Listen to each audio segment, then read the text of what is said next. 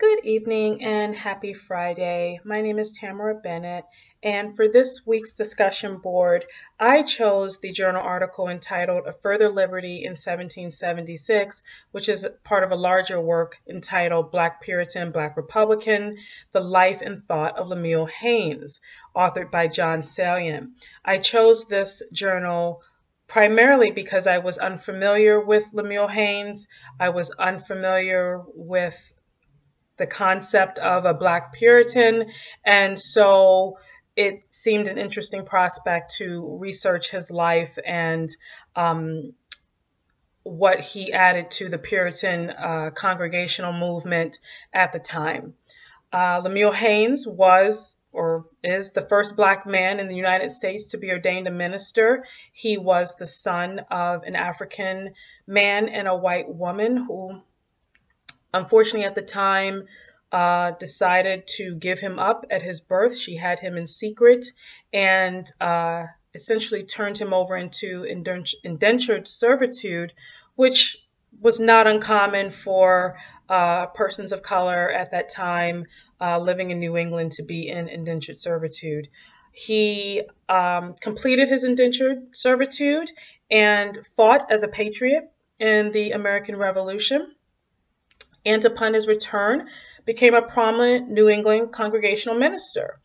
Uh, he's distinctive in his promotion of abolition and his anti-slavery sentiments in, in the sense that as a black man, uh, Lemuel Haynes didn't just promote the end of the slave trade, the end of slavery, but he also promoted a sense of republicanism for the newly freed uh, black man that uh, black people or newly freed slaves were entitled to liberty and freedom and um, communal harmony, um, and that slavery in and of itself was a violation of natural rights.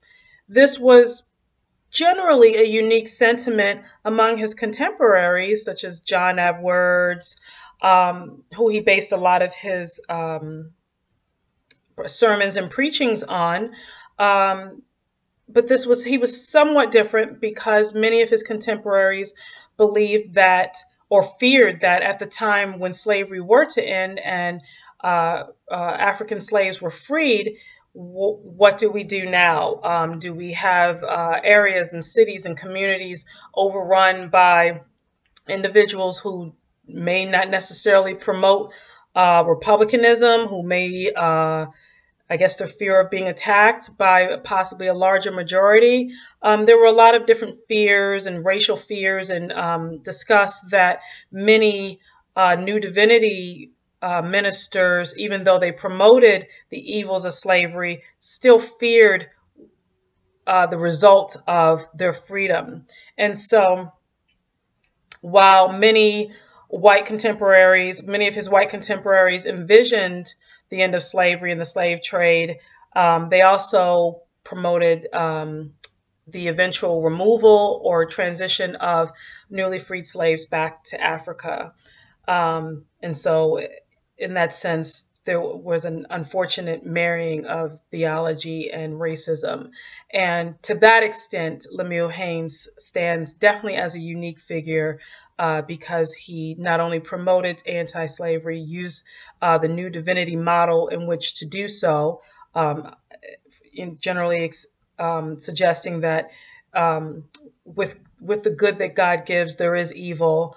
Um, but that his hand also will, will deliver us out of that um, and that slavery was that natural deliverance that they would be delivered, African slaves would be delivered out of that bondage.